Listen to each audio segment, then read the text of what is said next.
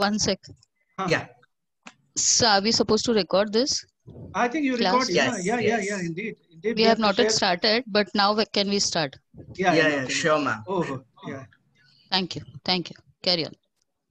Okay, so I guess Professor Mukherji doesn't need a formal introduction, but, but as we say, for the sake of protocol. Uh, so Professor Mukherji is the head of the Department of Political Science located within the South Asian Institute in Heidelberg University. And he's also the deputy director of the same institute.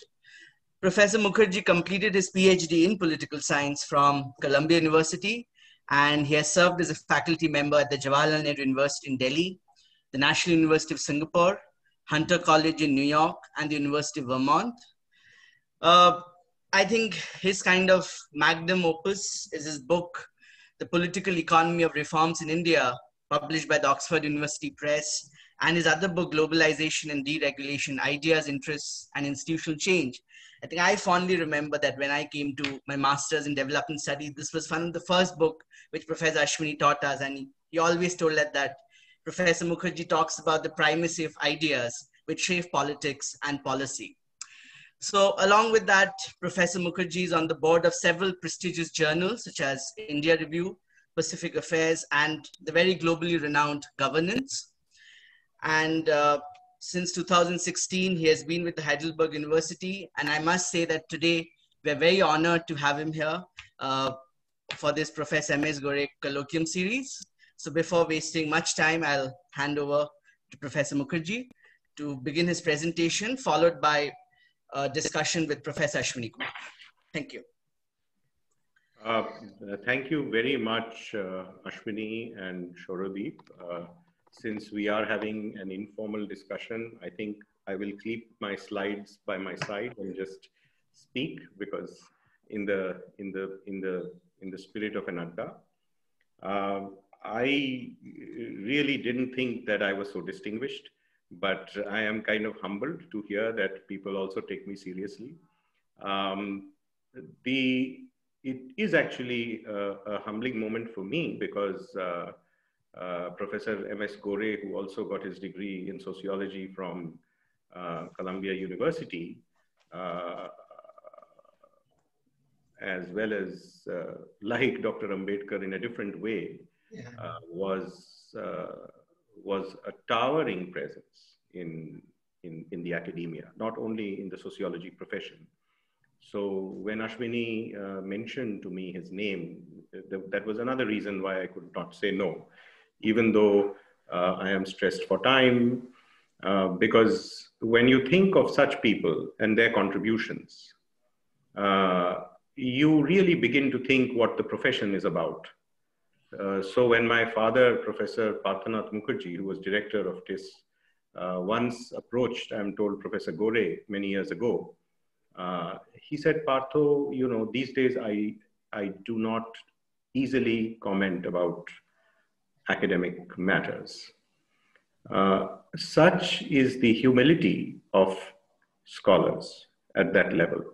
So, of course, uh, there are some of us who can think that we are rock stars, and there are those who can make you feel what a rock star should be like.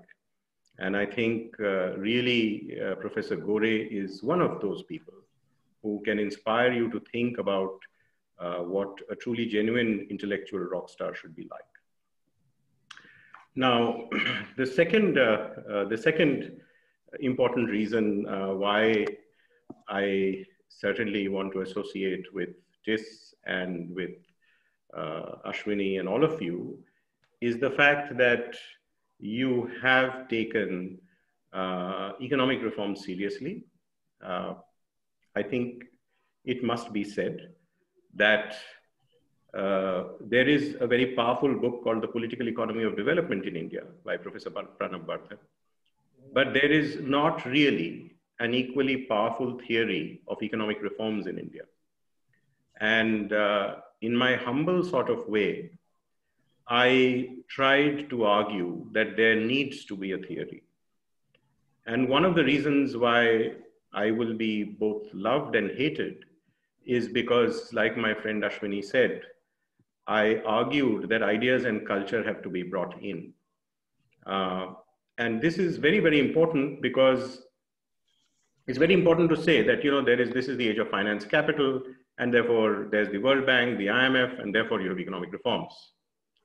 Uh, I have tried to argue, uh, how successfully, I'm not sure, that economic reforms or the lack thereof has to do with ideas. Now, you might very well remember that India was known for what is now called the Hindu rate of growth, which uh, remained in place from 1956 till what I would call the mid 1970s. There is a debate about the cutoff date. Is it the mid 1970s or is it the 1980s? But it is very, very well known that India did not suddenly begin to grow in 1991 it is also fairly well known that a lot of things that happened in 1991 were actually the product of a lot of experimentation that, in my view, started taking place from the mid to late 1970s.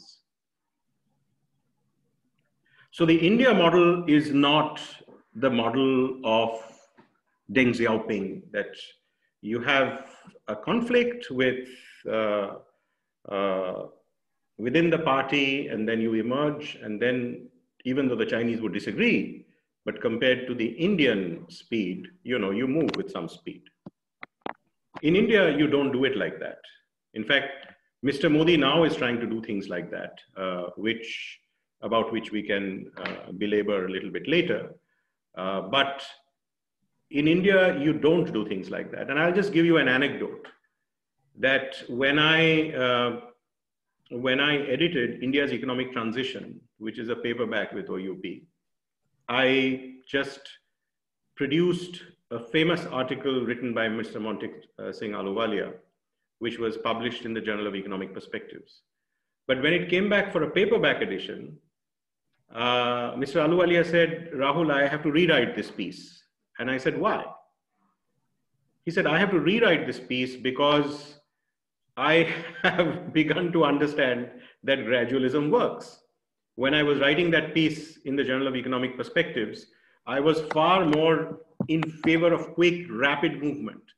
But when you build a consensus around reforms, when you build a consensus around ideas and they move, things become far more solid and sustainable. So, this entire idea, which is very popular among my friends like Professor Atul Kohli at Princeton, uh, uh, Professor Prabhat Patnaik in JNU, uh, uh, Stuart Corbridge at the London School of Economics, that if you don't have a theory, just call it an elite revolt. You know, the middle class had aspirations and, you know, they were suddenly realized in 1991. Of course, the best piece arguing along that line is the piece by Prabhat Patnaik and C.P. Chandrasekhar published in my book, India's Economic Transition, because they worked on an earlier piece. And it's a very, very well written piece. If you really read that piece, you will come very close to getting convinced about that idea. And then there are people like uh, Professor Ashutosh Varshney and others who argued that it was because of Hindu nationalism. That 1991 came, uh, the threat was from the BJP. And how do you deal with this threat? You side with the Congress reforms uh, and let the budget pass. So, so, so, so, so, so this was actually uh, uh, uh the other very, very uh, fairly famous idea about why economic reforms happened in, in India. Now, I'm not showing you my slides, but you know, my slides have Mrs. Indira Gandhi sitting with IG Patel and uh, Mr. L.K. Jha. Uh, why do I have these pictures in my slide? The reason uh, why I have these pictures in my slide is because in 1966, India had a balance of payments crisis. There was a deep crisis and there was a substantial vulnerability comparable certainly to 1991, at a time when the Indian economy was far less grown than in 1991. And at that time, like in 1991, President Lyndon Johnson, supported by the World Bank President George Woods, using technical material given by uh, a famous economist from the World Bank uh, called Bernard Bell, was arguing that India should devalue its currency, promote the private sector, and bring about the green revolution, among other things.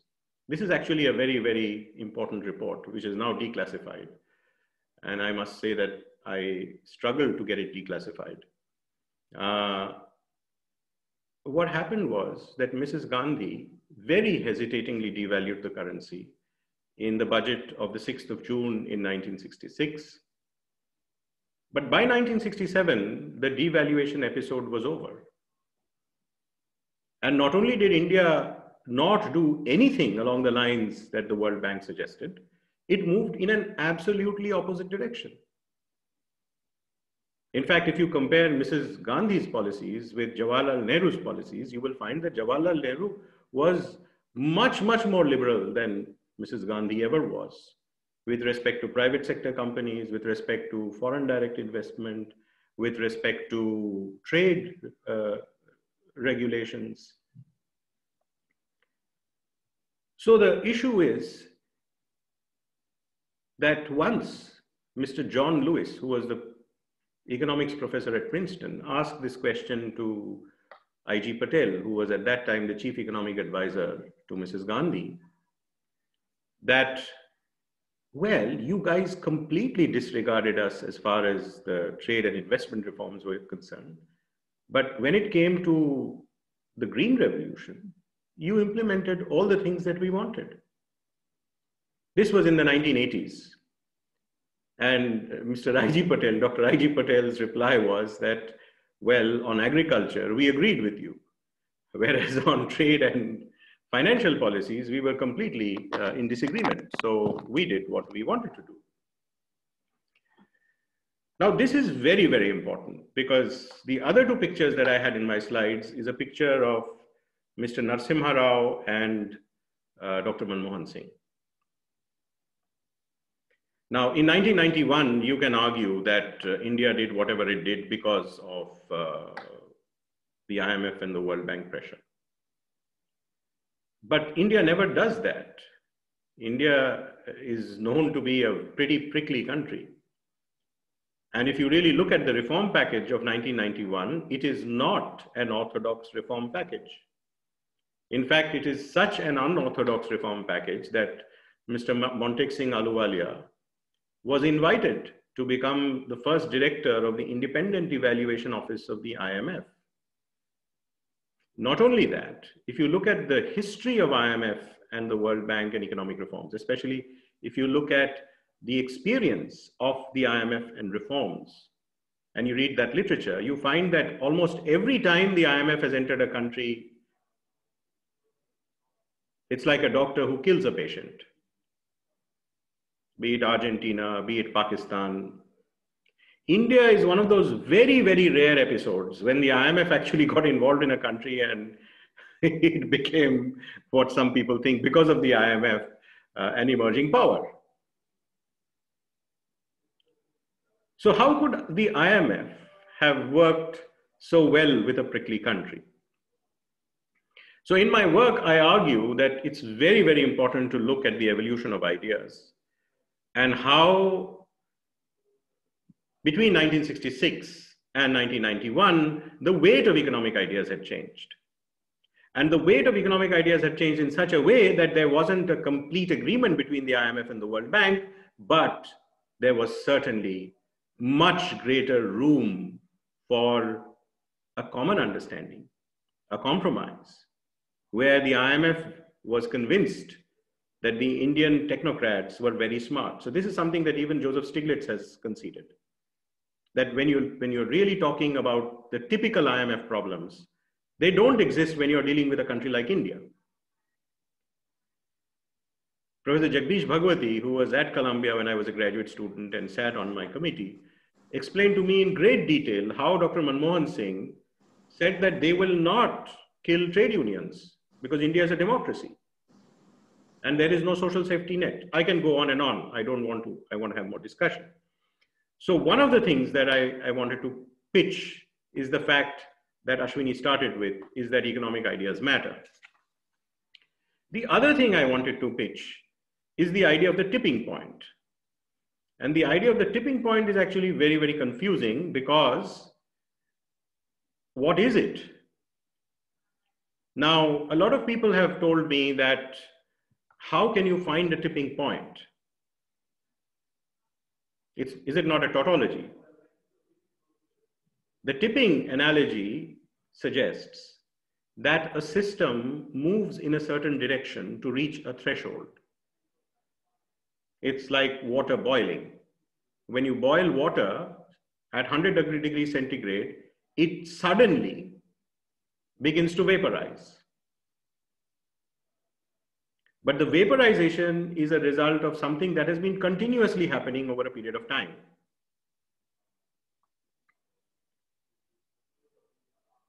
When you take a bicycle on top of a bridge and it collapses, the question is, does it collapse because the bicycle went on top of the bridge? Or does it collapse because it had already been undermined? So all that it needed was a bicycle. So the tipping point analogy is largely a systematic endogenous process where the system gets undermined so that the shock, even if it is very minimal, can make the system tip. So there are three things that we have to be clear when, you, when we look at a tipping point. The first is that you must show substantial movement in a certain direction towards a threshold. So, you know, at 90 degrees centigrade, you know, water is not cold. But at 100 degrees centigrade, it begins to vaporize. So what you begin to see is a very different kind of manifestation of water. It's no longer what happened at 99 degrees centigrade. So what, hap what happens at 100 and 101 is, is, is very, very different by nature. Because now there are other reasons why the tipping point is important. Because you know, the world is famous for trying to show how ideas diffuse from Washington. There is much less work. People like Amitav Acharya and others have talked about norm localization and other things. There is much less work on how endogenous processes build to produce a certain kind of outcome. The tipping point actually, I mean, it, it does not, I mean, one is not saying that exogenous processes don't matter at all, but the tipping point analogy actually gives you more traction to think about endogenous processes why inter internal processes, why your culture matters. The third important thing that I want to mention in the current context is that India's economic reforms, I could also be talking about economic reforms in a broader sense, including welfare, but we don't do that today. Uh, I will get into that towards the end of this presentation. Uh, were undermined even before COVID-19 came up, I have certain figures in the slides to show you how uh, exports as a proportion of uh, goods and uh, exports of goods and services as a proportion of India's GDP declined. Uh, foreign direct investment as a proportion of India's GDP declined even in 2018. So there are reasons to believe that uh, when the current dispensation came to power, uh, it's certainly not an anti-private sector dispensation because then Mr. Mukesh Ambani would not have suddenly become the richest man in Asia uh, at the very moment when the Indian economy is in deep crisis. Uh, Mr. Anil Ambani would not have gotten the contract to manufacture the spare parts of the Rafale fighter uh, when the Hindustan Aeronautics Limited has a distinguished tradition in producing the Sukhois in India. Uh, so you cannot say that the private sector has been undermined. In fact, we will talk about crony capitalism. Um, so so we are beginning to see that certain trends which were taking us in the direction of uh, globalization uh, by in terms of exports, imports, foreign direct investment. Because remember, in 1991, one of the first things that the government of India realized was that foreign direct investment is important. There was a lot of left criticism of foreign direct investment, but in 1991, even the left economists understood that it is much better to have a foreign investor invest in your country than to go to a private commercial bank which will dance to the tune of the Moody's. Because we have, I mean, India went to the World Bank and the IMF partly because of the Moody's. I mean, 10% of GDP fiscal deficit is a very high fiscal deficit, but it is not a deficit at which other countries have uh, gone bust. But when the Moody's said that India is going to go bust, everybody stopped lending India. And there was enough experience and thinking, which is why I think that. So it was it was a it was clearly an experience that told you that today I in the news I hear that uh, Toyota has decided that it will not uh, invest more in India. This is today's news in Economic Times. There is a rail that uh, railway line that uh, that the Japanese are helping India make between, uh, I think Ahmedabad and Delhi or something, which has gotten stranded. Uh, and the Japanese, as you know, are the closest friends of the prime minister. I mean, when the prime minister talks, uh, but he cannot even satisfy the Japanese. So we are living in a situation where somehow uh, a lot of people within the Indian capitalist class are quiet. Few like Rahul Bajaj spoke out, and then Amit Shah asked him to shut up. Uh, uh, but a very few are doing very well, and those include uh, the family of the Ambanis and the family of the Adanis. So uh, the question is India changing course? Now, I just want to say a few things building on, on this idea of crony capitalism. I have already mentioned Mr. Anil Ambani, but I also want to mention briefly about Mr. Mukesh Ambani. Because Mr. Mukesh Ambani, as you know, is highly invested in telecoms. And my book has a very serious chapter on telecoms. Even the regulators uh, you know, quietly come and tell me that, you know, they learned something from reading that chapter on telecoms. It can be very boring for the general public. And then at this point, I, with my colleague, Dr. Zarhani, uh, am doing some fairly serious work. This is largely being done by Dr. Zarhani in my institute on, uh, on the sort of the drift away from competition. So let me just throw an example at you. Mr. Mukesh Ambani, in around 2001, tried to do the very same thing that he is succeeding with doing in the Jio case. He purchased licenses very cheap called wireless in local loop licenses in the pretext of producing connectivity to the rest of the country in a direct line mode, not a monopoly, uh, not a, uh, a cellular mode. And it was realized that Mr. Ambani had started using that facility for which he had paid a cheaper price as a mobile facility, violating the contract. And this is not something that Rahul Mukherji is saying. You know, Mr. Ambani will not be able to do anything to me for my saying this. Because when the matter went to the Supreme Court, there was an out of the court settlement where the regulator, under the direction of Mr. Uh, Dr. Um, um, uh, sometimes my mind just goes blank. Uh, Arun Shourie, who became telecom minister, made Mr. Ambani pay the difference between the license fee paid by the GSM operators and what they had paid. He also made them pay a fine for violating the license restrictions.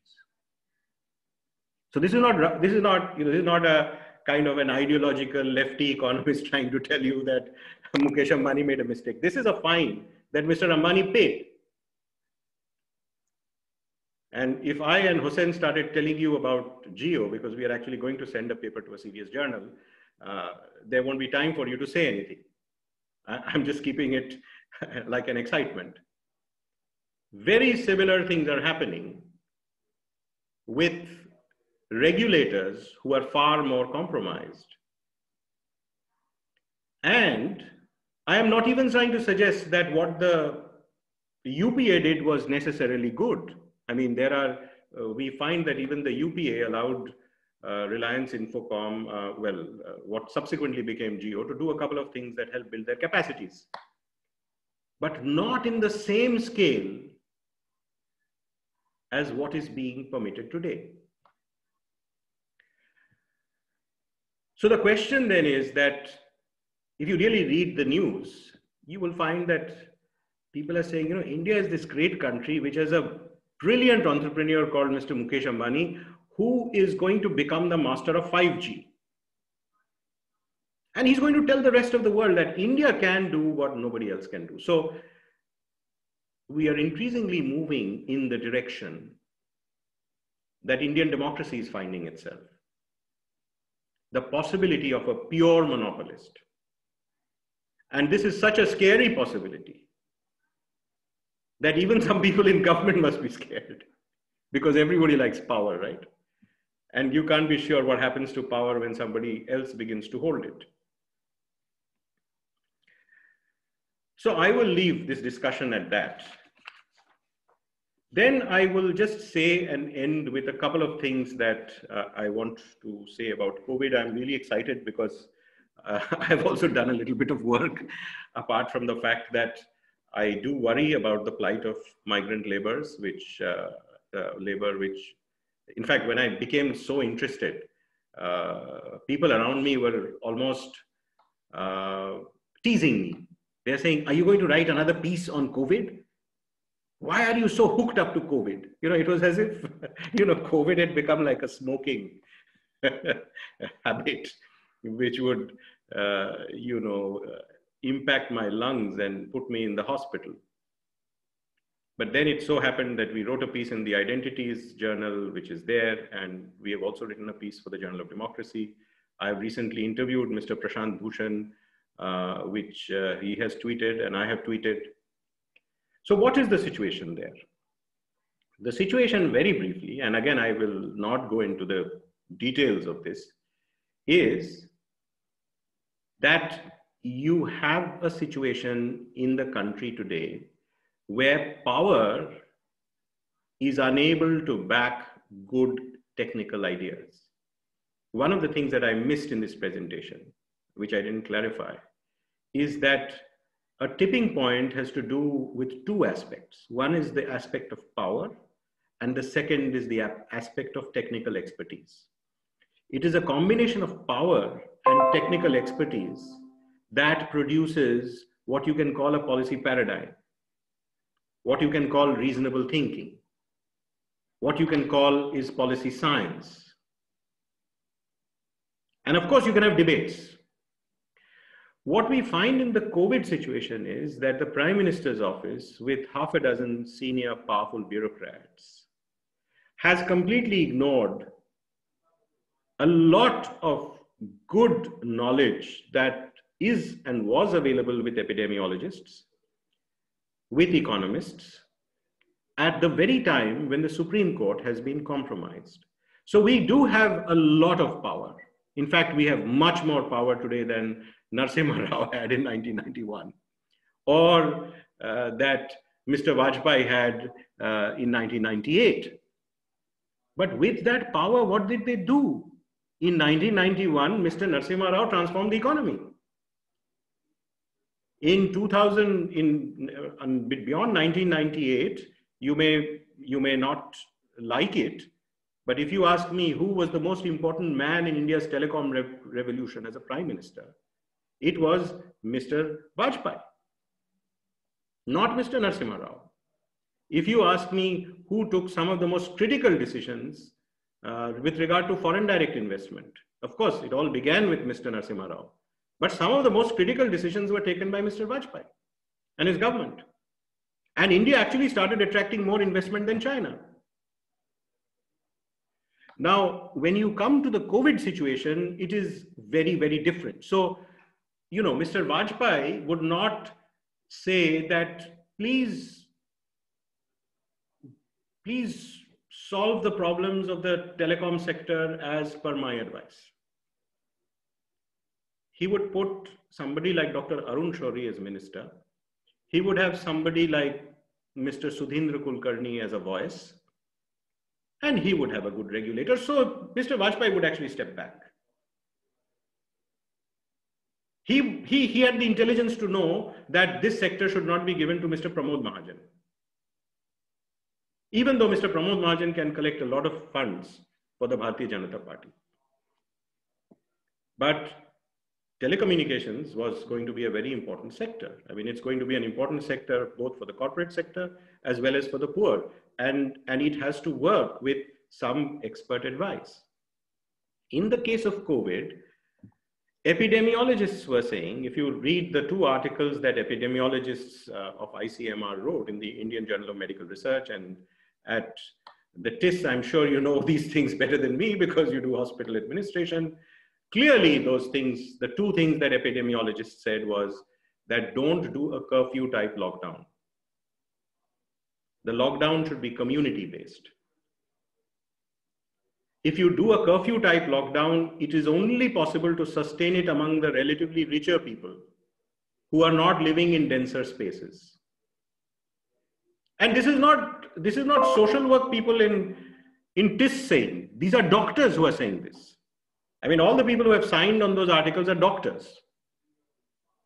If they had consulted TISS, TISS would have probably given even better uh, uh, recommendations. Then they also projected a model of infections that we are beginning to see is getting realized today.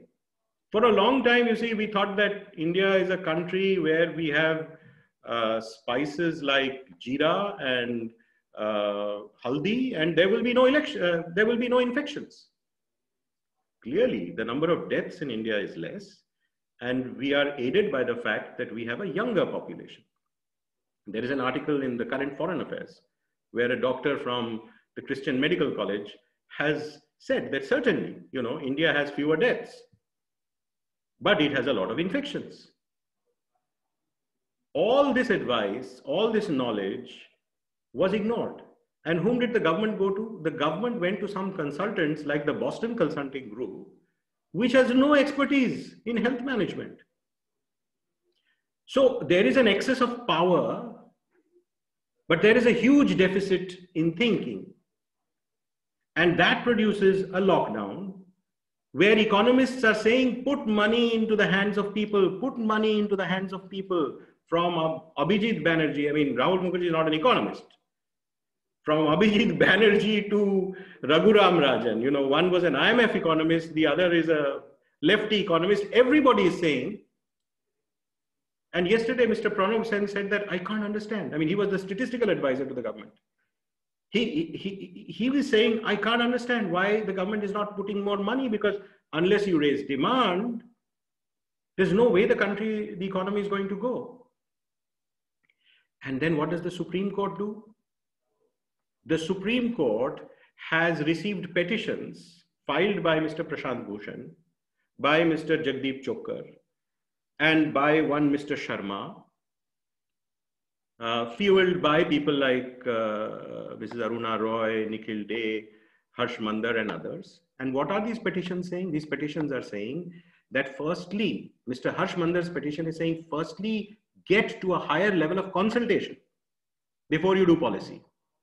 Then others are saying that deal with migrant labor. The Supreme Court has no time of course, it doesn't have any time to listen to the Citizenship Amendment Act. It has no time to listen to uh, people of Kashmir because, you know, they belong to the minority community. But your very own people who are defying the lockdown, so much so that when Justice Lokur retired from the Supreme Court, he publicly came and said that the Supreme Court is changing its nature and identity. So I, you know, since I, I don't want to go into the details, and then you block the parliament. The parliament suddenly gets blocked for its budget session with no discussion on the lockdown. And a plethora of notifications which bring about things like PM cares. And what happens to the states? You not only don't consult the states, at a time when the states have to implement the health infrastructure, you starve them of funds. So the lockdown is a great lockdown given by the prime minister, which has led to a 24% contraction in the economy. But who should the common people blame? The chief ministers of the states. And who can collect the money? The prime minister through the prime minister cares fund. The state chief ministers don't even have funds with the same ability to tax CSR and foreign corporations. So we are really living in a messy situation where there has been a lot of power behind very little serious and engaged discussion. And I can, I can discuss in greater detail about why the welfare packages were a real catastrophe. You started funding migrant labor for free rations after they had already left for their homeland. And then much later, you started paying money to the MSMEs when they didn't have workers. And then much later, you tried to pump in money through NREGS in the poorer states.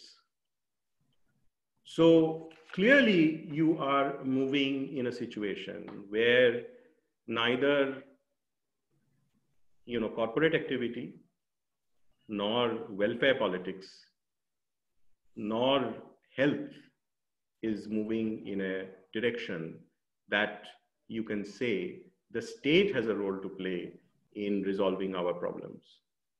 So then in a sum, what is the situation today? I mean, I don't need to mention to you sitting here in Germany about the gravity of the situation. I don't need to mention to you that a lot of government servants will not get their pay. I don't need to mention to you that even teachers will not be paid. But people still seem to be satisfied. A lot of people seem to think that after all, you know, we have a strong leader who is unlucky. And opposition politics is not coming together. So we have a situation where in terms of economic rights, there is rising unemployment, there is rising prices. There is, of course, the, the threat of COVID. And now, according to some surveys, it is not that India is growing by 90,000 new infections per day, it could be 200,000 as well. You might very well remember that there was a Sero survey done by the Indian Council of Medical Research. Uh, I think it has now been properly leaked. It was not even released.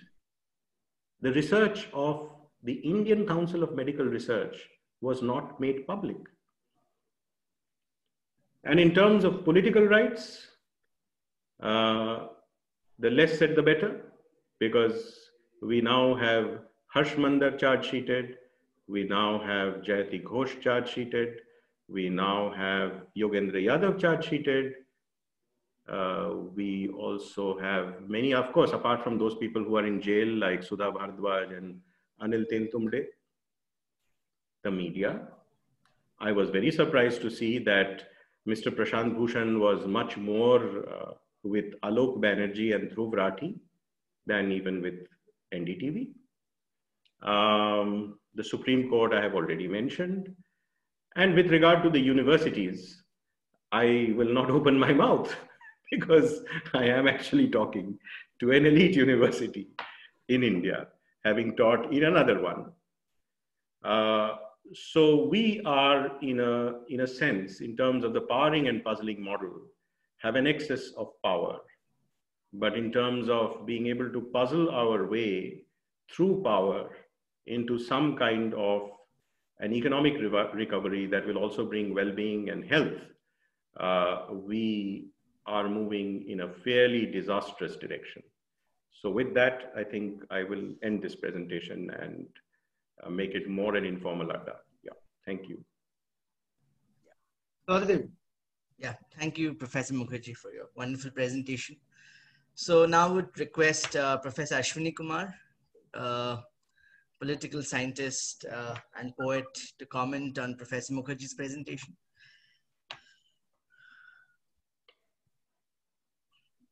He froze or something?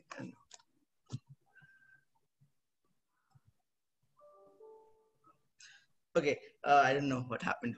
But Professor Mukherji, I'm kind of curious with one question that I had. So when you were a PhD student at Columbia, how did this uh, topic for your dissertation research kind of struck you? Like, what kind of made you think differently about economic reforms than what was the mainstream view at that point of time? Uh, well, uh, that's actually an excellent question. And uh, so partly because you know i was I, I, had lived in india in the in the late 1980s and in the early 1990s so that was very very helpful. Uh, the second thing was that uh, i i did a class with jack snyder on systematic approaches to international relations where jack would ask us to critique something. So I had kind of critiqued Lenin, uh, and I had also critiqued a scholar called Stephen Krasner. Stephen Krasner uh, was almost arguing like Immanuel Wallerstein, but somewhat differently. Immanuel Wallerstein had this world systems theory where uh, the core, the center, and the periphery will remain. The core will exploit the semi-periphery and the periphery. Uh, and the periphery, the semi-periphery will ex exploit the periphery, but will get exploited by the core countries of the world economy. Uh, and Krasner was saying that, well, uh, he didn't say that, but he said that the North and the South will eternally be in conflict because Northern countries have certain social uh, and political attributes that Southern countries lack. Uh, so, you know, it's a much more meritocratic society. Ascriptive family-based ties are less in, uh, in, in, in the northern part of the hemisphere. States are stronger, they can tax people and produce infrastructure. So there was a whole lot of this happening when uh, it was being argued that countries like India and China would be uh, uh, would not would never be able to grow uh, I mean, Wallerstein didn't think they can grow. Krasner didn't think that they can grow. And at the very moment, I could see that India was emerging. And therefore, the question of India's emergence became very, very important. And as the question of India's emergence became very, very important, I was also puzzled that, you know, this middle class argument really doesn't work. My friend Eswaran Sridharan wrote some of the best pieces on middle class, on the middle class and even he are, he found that you know a lot of the middle class was actually in the public sector. The public, se- public sector employment was very very important. And there was really no great middle class upsurge to uh, create economic reforms. Um, uh, in the in the late 1980s and the early 1990s everybody in jnu was against reforms the people who were actually really thinking of reforms were in the Ministry of Finance. And I couldn't really see how the middle class could be, you know, just the Ministry of Finance, when a lot of middle class people were in the newspapers, were in JNU. And uh, so then I began to understand. I was also struck by Peter Hall's piece in, uh, in comparative politics on policy paradigms. And then it struck me that this was something that has to do more with the sociology of knowledge uh, than with uh, just an understanding of how classes come into conflict and that we have to take the state far more seriously to understand not only economic reforms, but Hindu nationalism or whatever is it that you want to understand. Yes. Uh, thank you, Professor Mukherji. Professor Ashwini, please. Uh, let me just, you know, first thank for this very profound uh, and almost a lyrical uh, presentation from Professor Mukherji. And without PPT, I was delighted. It, it, sounded like a more lyric and, and more elegant conversation. Professor Mukherji, you know, I, I, I began talking about, uh, you know, your contribution to public policy and comparative political economy literature. Very, very, very strongly, you emphasized uh, the power of ideas. You know, coming coming back to Professor Ashutosh Varshney and others, you know, Pranav works relating to economic reforms in larger literature on comparative political economy. So, how do you compare or contrast? Uh, you know, different paradigms of assessing and analyzing economic reforms, not just in India, but globally, you know, for instance, Latin America, for instance, Africa, you know, because, you know, the audience, I'm sure, would love to hear more about you, that how, you know, ideas or the primacy of ideas would explain not just Indian story, which has been presented as, you know, reforms by stealth, but also elsewhere in Latin America and in Africa know, maybe in the neighborhood, you know. Why, uh, why Bangladesh is not going through similar reforms or Pakistan story, you know. Secondly, I would also like to hear more about you looking at your own, uh, you know, volume of works uh, on economic reforms in the larger literature. Uh, how about, you know, the state capacity? Of late, you know, or perhaps recently, um, uh, Devesh Kapur has written a brilliant piece upon, uh, you know, uh, state capacity and kind of, you know, celebrating GST, uh, major tax reforms. In your writings, I noticed that you you you come to you know planning commission those days where you have interviewed Montek Singh Ahluwalia. I would like to hear more about uh, your own uh, you know connect to planning commission and being there. So how do you look at a state capacity uh, you know relating to economic reforms and the comparative political economy literature? Yeah, that's, I mean, like uh, just, just an excellent. Uh, that's an excellent uh, way to. Uh, uh, so, so actually, a lot of the things that we are doing speak to state capacity. There is uh, an article in the recent issue of Studies in Indian Politics on NREGS implementation in Andhra Pradesh, yeah, yeah. by my colleague Hossein Zarhani and myself. there's mm -hmm. another article in Indian Politics and Policy on um, on why the left failed to implement NREGS in West Bengal um, by co-authored with my colleague Dr. Himanshu Jha. Uh, so we are we are actually we are actually talking about state capacity. I mean, I, it was much less explicit in the earlier work, but I think it is hmm. increasingly becoming more explicit.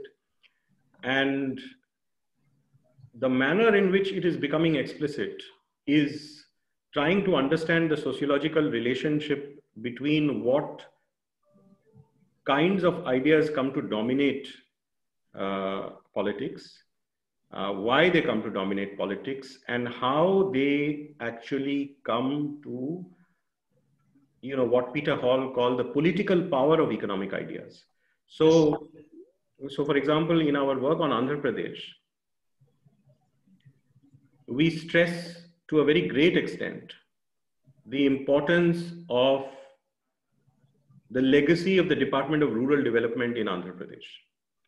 So, for example, uh, uh, you know, students of Indian politics don't like to talk about the bureaucracy.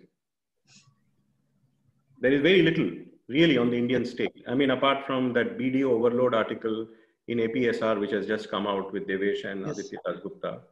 Mm-hmm. But there is no systematic understanding on how the Indian state actually succeeds.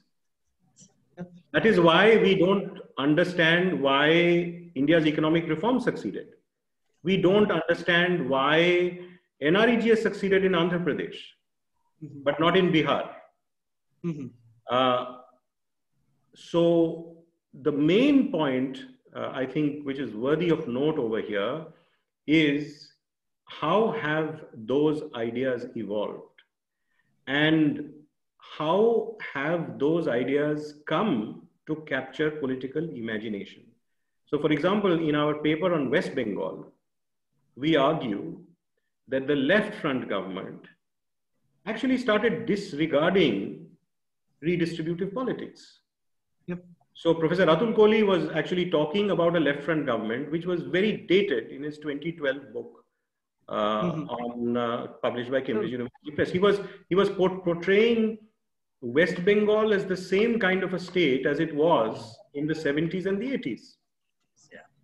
In our in our article in Indian Politics and Policy, we show systematically how the character of the CPM has changed, how the rural base of the CPM has become less and less and less important, how leaders like Surjya Kanta Mishra, who have now become very important after the demise of the left, were completely ignored, how, um, uh, how certain leaders uh, who had grassroots uh, uh, were completely ignored.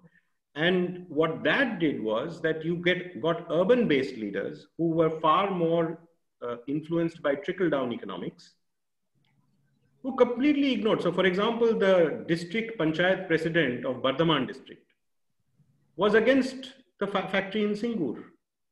Mhm. And you could have easily made a factory in, uh, in, in, in Bankura, which is, uh, which is even poorer, which is very close to the national highway through, uh, through Durgapur. But you disregarded all these ideas because you became overconfident that we are the masters of redistributive politics. Who is there to teach us about redistribution? We've done it. And, you know, influenced by China and other experiences, you began to think that you are invincible. So in, in fact, in fact, I have told Surjya to help us uh, get to the archives and get to this history in greater details to understand why the left ceased to be its own paradigm. And we, we, we, we, we outline this through so that you have an MGNREGS, which is a central act. At the central level, leaders of the left are trying to make it even more powerful. But when it comes to implementing it in West Bengal, there is very little interest Mhm. because people on the ground who are CPM members have just evolved to a level in terms of class where you know NREGS doesn't doesn't work for them. They want cheap labor. Now contrast this with Andhra Pradesh, for example. In the case of Andhra Pradesh, we show in this paper in Studies in Indian Politics that people like Sankaran, Yugandhar, uh, integrated tribal development, over a period of time, they built capacities. They built self-help groups. Mr. Raju, who is a co-author of one of my papers, who is now the advisor of Mr. Rahul Gandhi, he uh, he was he learned self-help groups through certain experiments he did in Nellore district, then through a UN program in which he was involved, then with the World Bank funds that helped fund the Society for the Empowerment of Rural uh, uh, I can't remember. And so that when NREGS was going to be implemented, Mr. Raju says that, you know, we've done a lot. And we've understood also how self-help groups have limitations. They don't, you know, Mr. Chandrababu Naidu lost despite the self-help groups. And then they do a lot of strategic thinking. They get the DFID, create a strategic group within that department. And that strategic group within that department then has to convince the chief minister that more programmatic implementation will be politically beneficial. So, you know, you may have a body of knowledge, but let's say Chandrababu Naidu is the chief minister. You know, who is, who is the political person who gives power to those ideas is also very important. Yep. And then there comes a time when the Department of Rural Development does a lot of research on the architecture, makes a proposal to uh, the chief minister, and the chief minister is convinced that this is politically a winning strategy. That when you, it's, it's not like the situation that Mr. Digvijay Singh had in Ma- Madhya Pradesh. He tried to empower the Dalits, but ultimately he got beaten both by the Dalits and the backward caste groups. But this was a winning strategy because in Andhra Pradesh, backward caste groups and Dalits all came to work for NREGS. So even some of my friends who are farmers, who uh, appear to be very progressive intellectuals, are critical of NREGS. And when I talk to them, uh, they say, but you know, Rahul, this is a very pro-Dalit policy, it's a peculiar kind of Congress policy. I tell these friends, have you been to an NREGS website, uh, work site in Andhra Pradesh? Did you ever go to a work site without telling anybody? Very true. Without getting the government involved. And then go and see how many uh, Dalits are there and how many backward castes are there. And often you will find that there are more backward caste people who are economically deprived than there are Dalits because their numbers are bigger. Of course, there are some very rich backward caste people also in the same village, and backward caste is a very heterogeneous category. But you created a platform where you could create, convert caste into class. Because at that level of deprivation, if everybody gets money for doing a certain amount of work, and that made uh, Mr. Rajshekhar Reddy invincible. If he had not died in an air crash, there would have been no Telangana. Yeah, Uh, Professor Mukherji, uh, uh, uh, let me just, uh, you know, uh, because my students are here and. Sorry, some- I did not give you any comparative. Uh, no, no, that's fine. We will come back. We will come back to that. We will come back to that. Um, may, may, may I draw your attention to some of the insights that you have been, you know, sharing with us over time, and especially I'm bringing you back to Delhi now, from Andhra to Delhi, and Yes. from you know West Bengal to Delhi. You know, I'm bringing you to what is now called Niti Commission, Niti Aayog Planning Commission. yes. Uh, for instance, you have seen, you know, the backstage memo of, uh, you know, of late, you know, Jairam Ramesh and others, everybody is writing biographies, you know. So, may, may, would you like to reflect on Vinay Senap- Senapati's biography, Half Lion, you know, the architect of economic reforms, you know. Yes. Let me just quote, you know, what Vinay says, you know, and to provoke Just, you. just one second. Just one second. I Yeah. I have to connect my laptop to the. Charger. That's fine.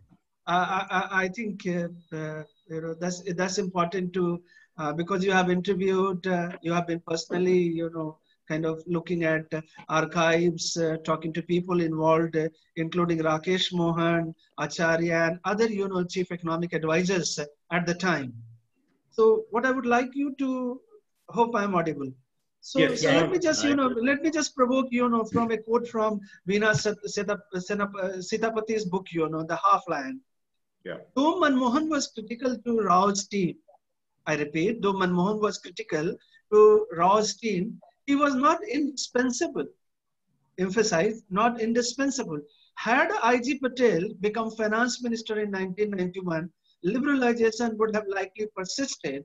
But had Narasimha Rao not become prime minister, India would have been a different country. How would you respond, uh, Professor Mukherji? Yeah, Because there is a renewed debate, a renewed debate. uh, Who was the architect? And I'm, I'm talking to, you know, Professor Mukherji, who is considered authority on reforms in India. Please, I would like to hear your, your view on that. please call me Rahul, even if you think I'm an author. No, no, no, Rahul, Rahul, you know, we, have all sailed together, Rahul. You know, it's a wonderful journey together as a friend and as a colleague, you know. No, so you know, uh, this is really the problem. You know, we don't write these popular pieces. Of course, I think Vinay Sitapati's uh, uh, biography is an excellent one. I I commend him. Um, but I would like to, I would like to draw your attention to the only meeting I have ever had with Mr. Narasimha Rao. Lovely, please. And this was a very long meeting. It was about two, three hours. And the conditions of that meeting were excellent because he had been completely disregarded by the Congress party. So he was living in number two Motilal Nehru Road as a crestfallen man whom the Congress detested, at least the, you know, the higher echelons of the leadership detested. And this is not the Narasimha Rao that we praise today or sita Sitapati praises. He was, uh, he was in a very different situation. He had, of course, uh, he was still alive. I sent him an email from the Center of Poli- for Policy Research where I was working. And promptly he said, please come and meet me. And I was surprised that politicians uh, can very easily figure out with whom they can speak and with whom they cannot speak. And it does not take them 10 years to realize this. So, in answer to your question, I asked this question to Mr. Narasimha Rao, and his answer was he said that in 1991, I believed that my situation was just like Jawaharlal Nehru's situation in 1947. I said, why? He said the reason for this is that Jawaharlal Nehru became the first prime minister of independent India. The first prime minister of independent India did not know what an independent country is. He did not know what an independent prime minister of an independent country is. He did not know what uh, the independent civil service of an independent country is. He did not know what uh, the independent army, navy, and air force of an independent country is. So for Jawaharlal Nehru, he could not have looked at Gandhi or he could not have looked at, he, there was nobody he could look at. I mean, uh, Narasimha Rao could think about Jawaharlal Nehru, but, but Jawaharlal Nehru did not have anybody to think about because, you know, it is like when Patrick French became the dean of uh, a large graduate school in Ahmedabad University. I told him that you have become like Nehru. I said, he was very surprised. Rahul, why do you say that I have become like Nehru? He said, look, the kind of graduate school you're talking about only exists in places like Yale, Columbia, and American universities. Indian universities don't have such large graduate schools. You have become the, the dean of such a graduate school. So yeah. therefore, uh, you, uh, the Indian context is very different from the American context. So, you know, in, in Heidelberg, we don't have such a big graduate school. We have smaller faculties. So, so, so, so Nehru's situation was like that. And Mr. Narasimha Rao said that I was in a similar situation because the Cold War had ended. Soviet Union had, had kind of vanished and we had a balance of payments crisis. So, you know, the fundamental, the fundamental basis of thinking had to change. Mm-hmm. And he said, therefore, I thought, what was Mr. Nehru doing in such a fundamental moment? And he said, Mr. Nehru was doing exactly what I call in the Studies in Indian Politics paper and in my book called Puzzling. So Nehru got all the economists of the world to the Indian Statistical Institute, from Milton Friedman to Alec Nove to Oscar Lange, to debate about Indian planning. And sitting there were P.C. Mahalanobis and I.G. Patel.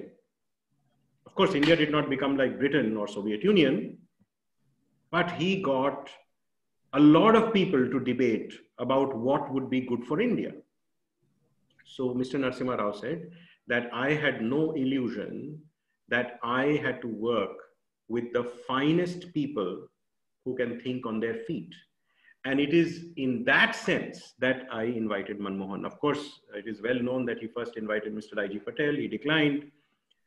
Now, it is right that, you know, Mr. Manmohan Singh, Dr. Manmohan Singh, was not a unique change maker. That's why I think my argument is more structural than agency driven. You know, culture is not the product of one agent. You see, Dr. Manmohan Singh's doctoral dissertation at Oxford University in 1962, published by Clarendon Press as India's export trends, talked about the merits of devaluation. It was published by not Oxford University Press Daily, but by Clarendon Press. It was reviewed in the American Economic Review. Uh, Professor Amartya Sen has praised that piece of work for having seen things that he was not able to see in the 1960s, that India needed to go global.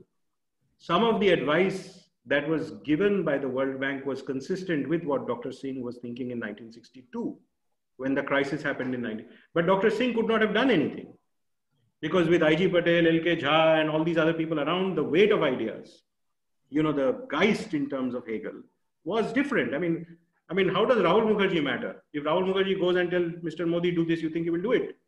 He will not do it. There is a certain culture within the state.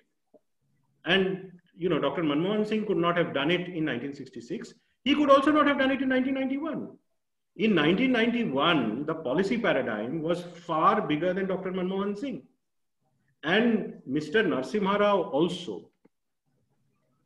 And this is something that only people who appreciate Mr. Narasimha Rao's work and people who know Mr. Narasimha Rao better than Mr. Vinay Sitapati, like Mr. Ahluwalia, Mr. Shankar Acharya, Mr. Rakesh Mohan, they tell you that Mr. Narasimha Rao never openly championed reforms. Yep. But the manner in which he championed reforms from inside was spectacular. And he understood these things. So, you know, he was, he was really giving power not behind irrational ideas. He was convinced his neck was at the altar. So, if anything wrong happened, which a lot of people thought, he would have actually had to take the axe. But he did not have the competence to do the reforms himself. The competence lay within the state, and the competence was there. And he was intelligent enough to realize and draw on that competence. So, therefore, it's political power coming to back a certain bunch of ideas. If it was somebody else who was less convinced, India could have certainly done some reforms. But India wouldn't, the industrial policy resolution of uh, July 24, 1991, which came out on the same day as the budget of 1991, are historic documents. They are as important as the Industrial Development uh, and Regulation Act of 1956. So the whole thing changed. And if you read the speech that Dr. Manmohan Singh gave while delivering the budget speech, he said that every idea has a time and the time for an idea has come. He is not saying that the time for Manmohan Singh has come. He is not saying that the time for Narasimha Rao has come. But the time for an idea has come, which means that devaluation has already been experimented within the Reserve Bank of India. Not going for foreign direct investment has already produced repercussions, which has made India vulnerable with respect to private banks. Without devaluation, you can't promote exports. These ideas, which fit into a policy paradigm called export led growth, had come and become very powerful. So, if you had, let's say, even IG Patel, I mean, look at IG Patel delivering a lecture, uh, the Kingsley Martin lecture at, uh, at Cambridge University when he was director of the London School of Economics. He says that, yes, I was the architect of the second five year plan. But I, I now think that there are many things that have happened which we didn't predict. We did not think at that time that all of these things will become a rent seeking racket. This is IG Patel saying, who is a drafter of the second five year plan. So the point I'm trying to make is the, exactly the point that you are trying to make, which is that these things are more structural and, uh, and therefore certainly you have to give credit to Mr. Narasimha Rao but you can't do this if you don't understand the evolution of ideas from the mid 1970s. How Mrs. Gandhi herself starts criticizing old policy and things like that. Yeah. Yeah. yeah. Now invite uh, Professor Pralay Kanungo to say a few words, probably a few inputs on Professor Mukherji's presentation. Uh, uh, uh, Sharadeep, I have you know few words you know before okay. uh, Pralay comes sure. in. I haven't heard him, and I just want to hear him also. And the words mm. matter to me. Pralay, please. and many of my students have read him, and they are familiar with Pralay. So please. Yeah, you're unmuted. Uh, unmute. Unmute. Unmute. Unmute. Unmute. yes. Yes. Okay. Well. Uh, well, I'm really uh, caught off guard. I mean, first of all, Rahul has said, you know, it is an excellent talk and uh, extempore. And, uh, you know, I enjoy his kind of, uh, you know, theory and also, uh, you know, and, and his present engagement. His, he has much deeper engagement than mine. So, uh, one thing at the first I'll ask Rahul this question on the tipping point. When India expects the next tipping point? Oh my God, this is fantastic. This is, you know, this is actually an excellent question. And you see, uh, you see, when a system tips in, cert- in a certain direction, it has a certain resilience. You know, structures don't change so quickly. Uh, I would not say that it can be taken as a given that India's democracy and its institutions can be completely obliterated by Mr. Modi because there is a certain resilience in the institutions as well. Uh, so once you have a certain set of institutions which portray a certain kind of ideas, they can certainly drift in another direction. And, and what we are seeing, I think, is a, is a certain kind of drift. The directionality of that drift is still not very clear because I think in, in intellectual terms, that drift has not been very well defined yet. Uh, you see, Mr. Modi has an experience which is exactly the opposite of Mr. Narasimha Rao. You see, Mr. Narasimha Rao came to power in 1991 as part of a coalition government when everybody thought that India cannot ever succeed because it cannot even give a firm government in the center. And everybody in those days became a student of coalition politics, right? So you needed a strong center, you needed to have governance and all that kind of thing. People have to take note of the fact that Mr. Vajpayee, Mr. Narasimha Rao, uh, Mr. Manmohan Singh, Dr. Manmohan Singh, they've all run coalition governments. And within these coalition governments, you've had not only economic reforms, you've also got the rights based approach.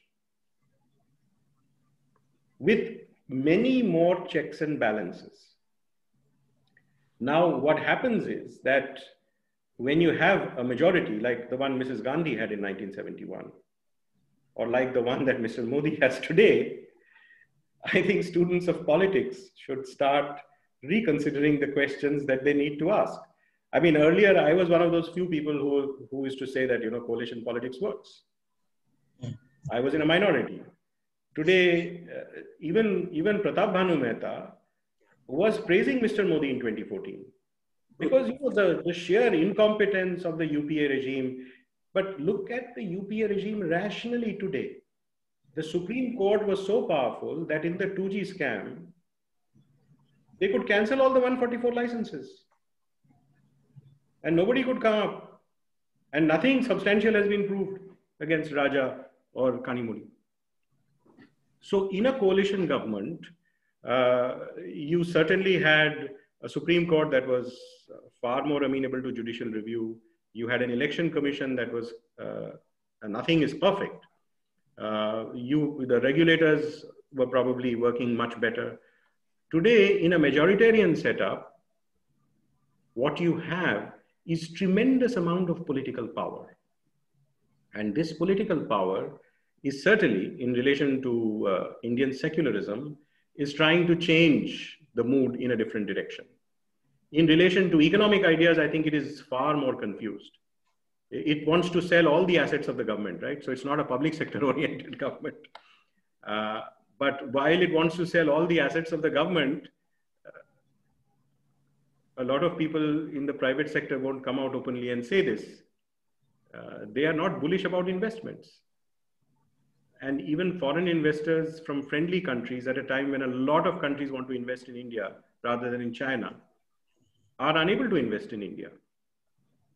So I would say that certainly there is a drift away. Not that Indian secularism was perfect, not that everything was perfect in India, but I think there was a certain a certain commitment which was far greater to certain ideas. Not that there was no crony capitalism before Mr. Modi came to power. However, what we have now seen is that certainly uh, majoritarianism, Hindutva nationalism, uh, private sector, but more allegiance to certain companies. And all of this is actually making the system drift away. I am not so sure that this dispensation really has a powerful alternative idea. And I am also, at least in economic terms, in terms of economic reforms, Uh, but I, I really don't think there is a tipping point. I mean, there's there will be some resilience. I mean, the regulators won't die tomorrow. The Supreme Court won't get finished tomorrow. Um, in the Journal of Democracy piece, which I have just uh, put finishing touches to, I'm not saying that the story of Indian democracy is over. But the challenges and the drift away from a certain propensity, which actually got Mr. Modi a very, very sound economy when he began to work on it, uh, has now led him in another direction. And so we are, I don't think we should be talking about tipping points. I think we should be really talking about drifts away from uh, what we consider to be more or less desirable. Okay, thank you. I have a, well, okay. Sorry. yeah, so just, you know, like, uh, Yeah, I yeah. think that you have uh, two best experts on governance, right? One is Rahul, the other is Ashwini.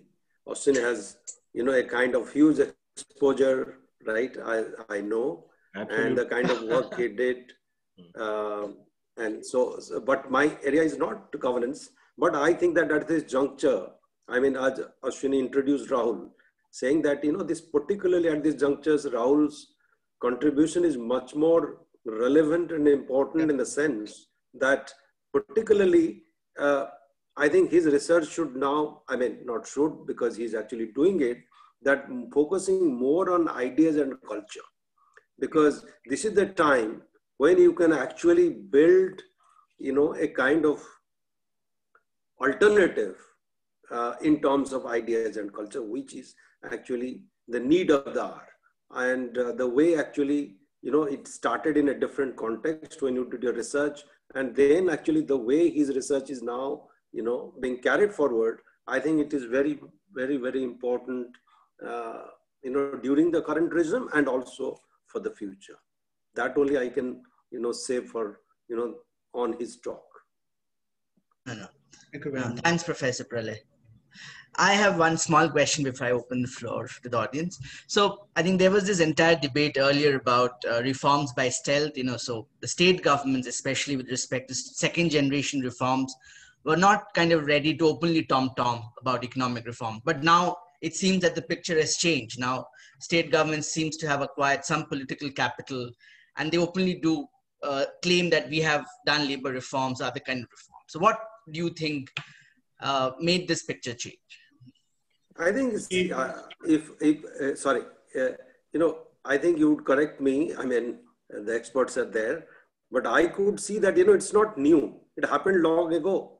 Like Rudolph are talking about this famous piece on iconization of Chandrababu. Like, you know, Chandrababu calls himself a CEO or Naveen Patnaik, for instance, or you can see these states. So I think the, the all this started long back. It's not that, you know, the status, but I would say that the momentum it was picking up, it's my view.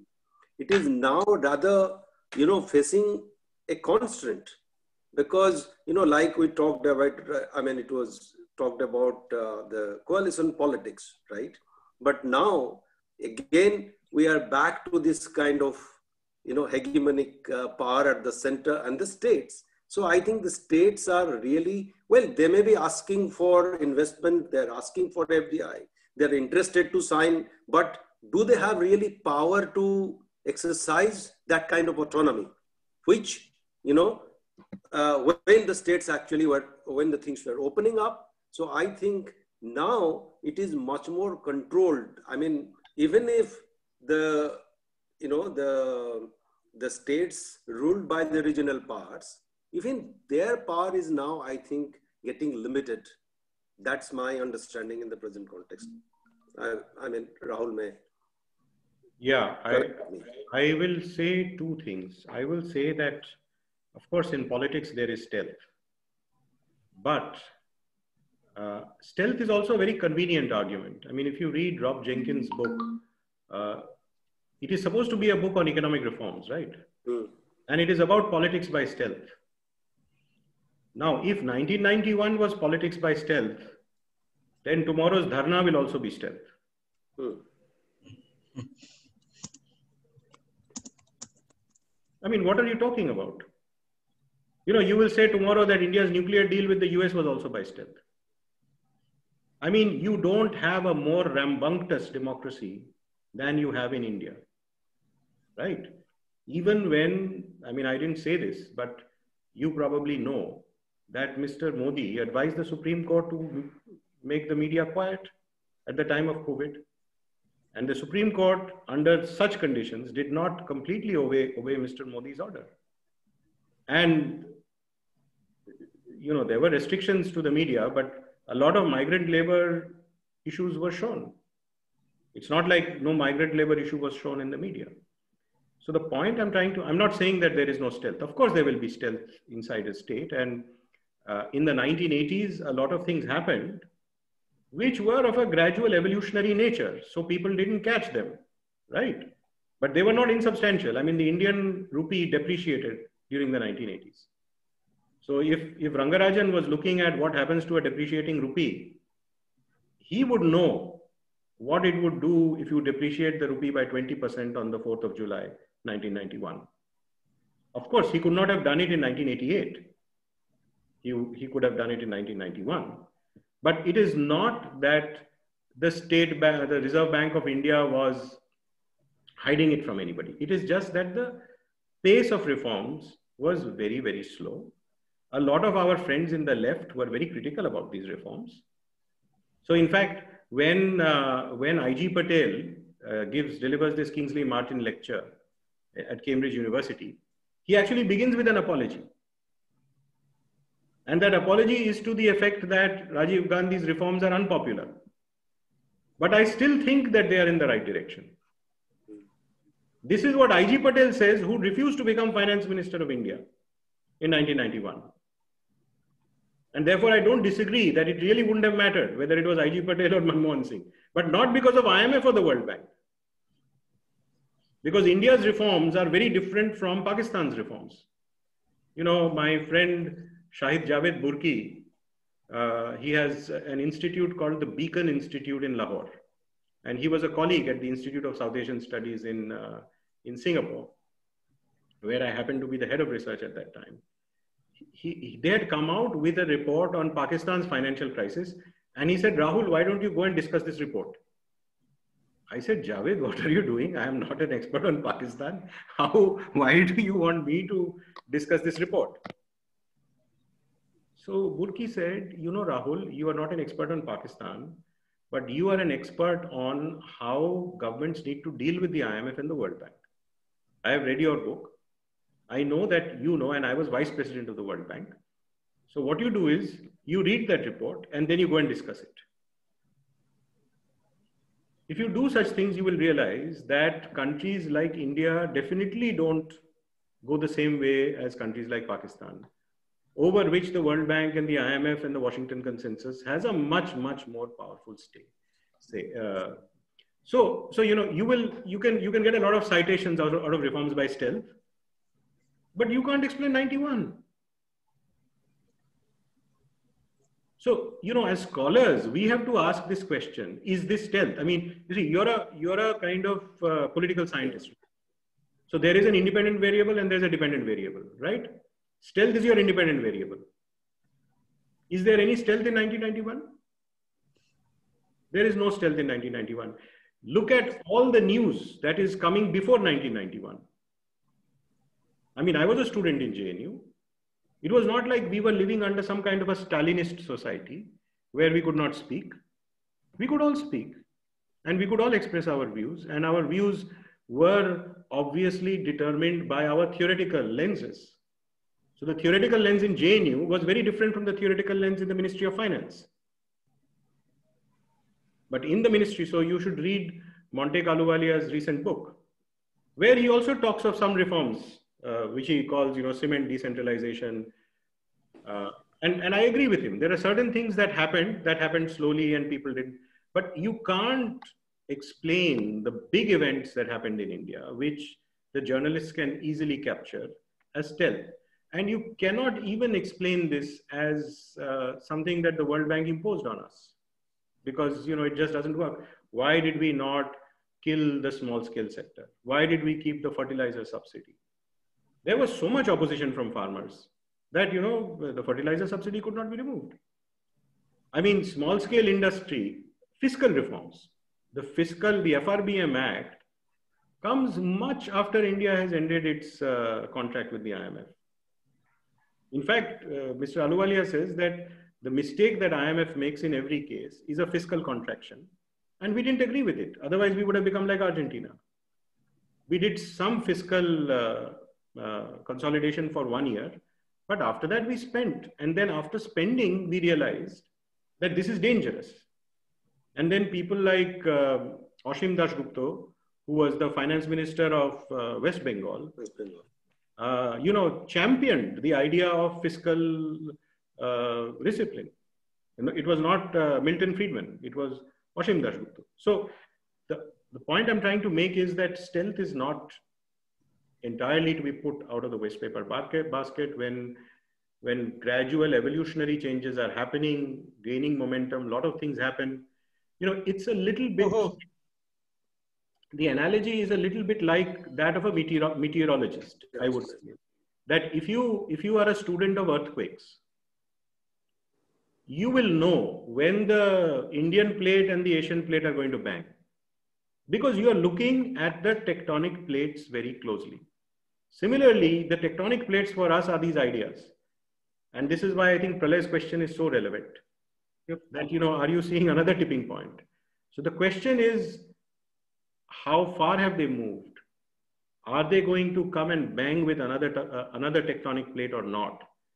These are things that people like you and me should look at, like geologists look at tectonic plates, and not like normal people who get surprised when there is an earthquake. So, so, so I would say that a lot of things that happen would be like stealth because you know people don't see these things so clearly and well. But people who, let's say, look more deeply in a historical institutional way at institutional evolution uh, will be able to see that a lot of things are not stealth. Yeah. Okay, so now I'll open the floor for questions. Any, is there anyone who'd like to ask a question, Professor Mukherji? Yeah, Srishti, please. Oh, okay. Thanks, Sharadi. Uh, thank you, Professor Mukherji. Uh, my quick question is really a follow-up to what Professor Kumar had asked earlier, where we could actually look at state capacity, uh, you know, uh, towards reforms, and then also look at state fragility, which in the neighborhood Pakistan and, you know, for example, Bangladesh have really had going and just also looking at the fragile state index, for example, um, African countries have dominated it. So, so if you could comment on or perhaps take the point you were making a little forward and looking at um, fragility, where just it's basically a question of bad governance, uh, then leading to all the institutions, uh, or, or, you know the most important institutions of the country remaining in the background, uh, Yeah. perhaps in the context of the subcontinent. Excellent question, and I and I think I need to get clearer on this. So my analogy would be, let's say, let's take the analogy of Mark Blyth's book, The Great Transformation, uh, Yeah. which is a very good book. So Blyth and subsequently economists like uh, Albert Hirschman point to the importance of ideas in a certain way. So Blyth says in his book that, you know, at the time of the Great Depression, so, you know, John Maynard Keynes created Keynesian economics in Cambridge, England, right? Mhm.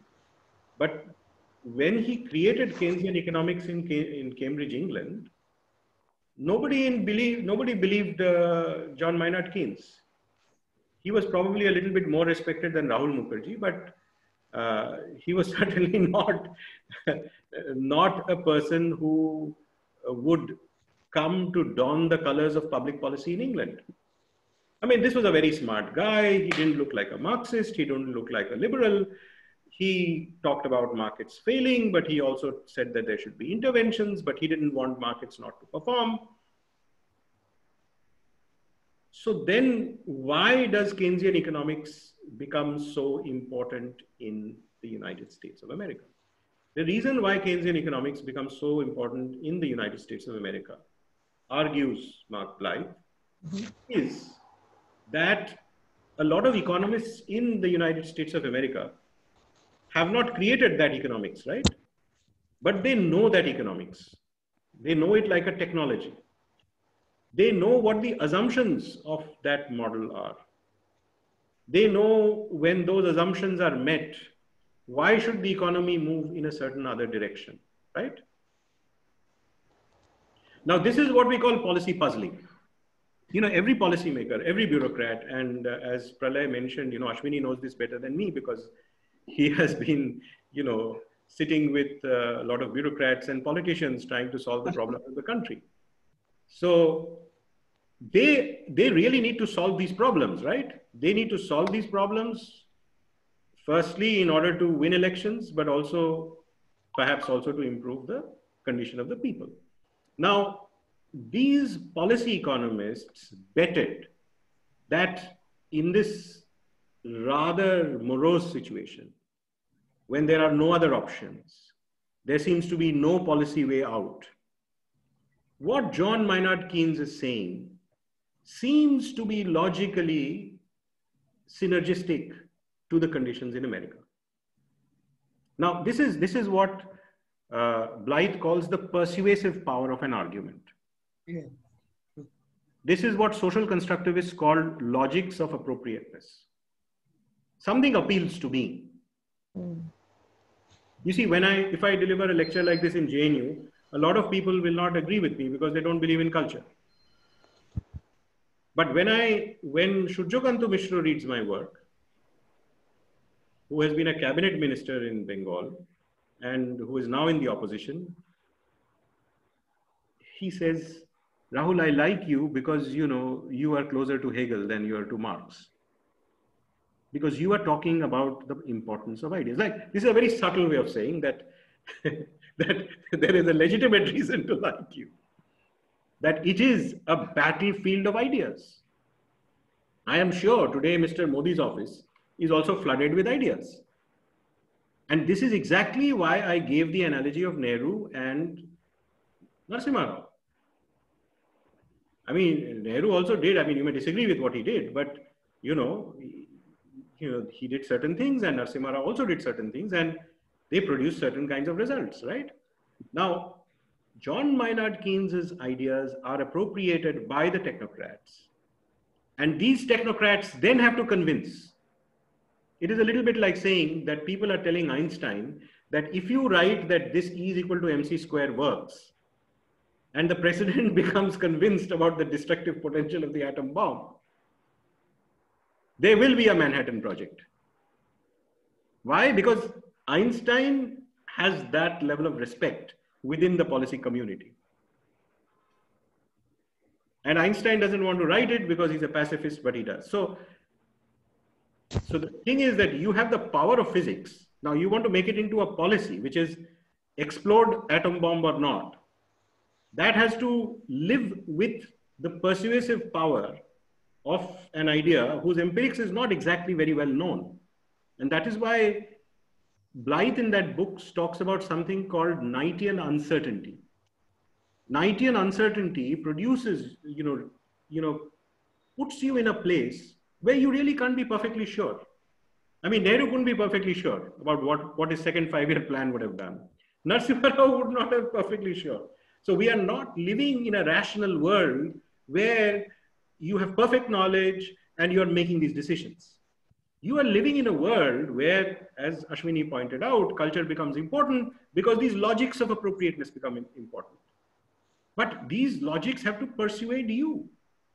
And when you get persuaded, so it is when a certain logic was persuasive with respect to Mr. Raju that you get state capacity. Mm. Certain logic was not equally persuasive to Mr. Uh, Buddhadev Bhattacharya then you don't get that capacity. And in both the papers, we have the Rural Development Secretary of West Bengal as our co-author, and we have the Rural Development Secretary of Andhra Pradesh as a co-author. And Mr. Manab Roy will tell you that Mr. Buddhadev Bhattacharya did not put that kind of political power which is required to coordinate matters in a way that you can deal with the very powerful enemies of NREGS. Yes. Which Mr. So now, you know, as policy scientists, we think that, oh, there is the state, there is bureaucracy, autonomy. No. Autonomy to do what? Autonomy to secure yourself from all of my friends who pretend to be progressive. But because they are pro farmer, they don't want landless labor to get wages. Autonomy from construction companies to which all these laborers migrate to. That is autonomy. But where does that autonomy come from? From that basic idea, which tells you that you have to protect that poor guy. Now, you can't do the same thing in Bihar. Bihar, there are many more poor people. Why does NREGS not work? Despite RTI, despite everything. So, this whole idea of autonomy and capacity has to work with ideas. And that is why I added powering to puzzling. So this is also the reason why I think you've asked a very important question. Brilliant. Thank you, sir. Thanks for that. Any students? I'm looking forward to Students, public policy class. Yeah, yeah, yeah. Mela, Please have conversation. You have been talk, you, you wanted to share a word with Professor Mukherji. He's here. He's, he's literally here. He's virtual, but he's here. Please ask him. Grab him. Grab him a coffee or tea with him. Please. I have bored you guys to death, you know, teaching his books and his ideas. So please, he's here. Please, yeah, somebody's asking. Yeah. Uh, Rahul. Uh, Good afternoon, sir. Good Um, afternoon. uh, and brief, be brief. We are running out of time now. Be Uh, brief, ask pointed question.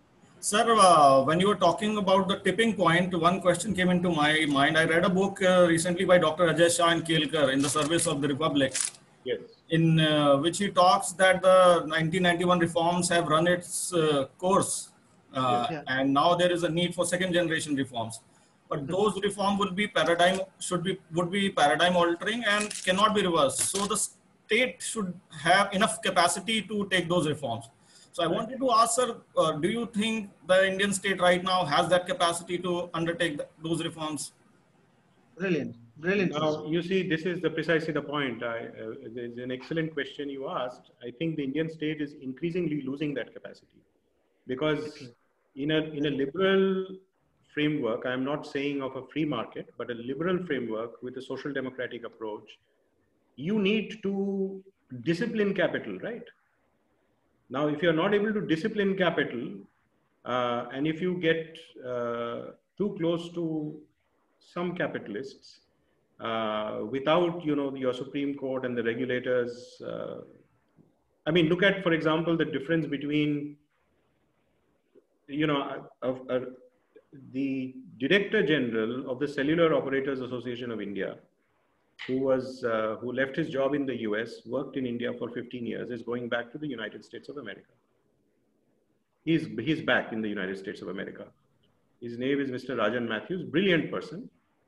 And I think the reason why he's returning is because he just uh, spearheaded certain cases which went against Reliance. Now, Reliance is not like a landless, poverty stricken person who, needs to be protected by, by social audits, right? Reliance is powerful. Now, when I when myself and Dr. Zarhani were doing this research on telecoms, we are revisiting our old research. We find that many people who not who are actually pro Airtel, Airtel is a small company which has begun to become a big company, have now become votaries of Reliance. And the one person who was fighting that battle has left the country. So, so I asked another friend who was very close to Mukesh Ambani and resigned. He was also a former managing director of BSNL.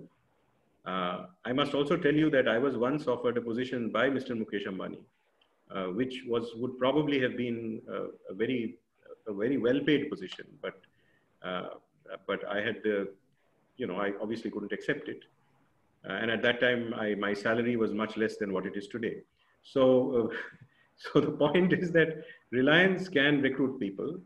Uh, Reliance can give a lot of facilities to all manner of people it wants to recruit.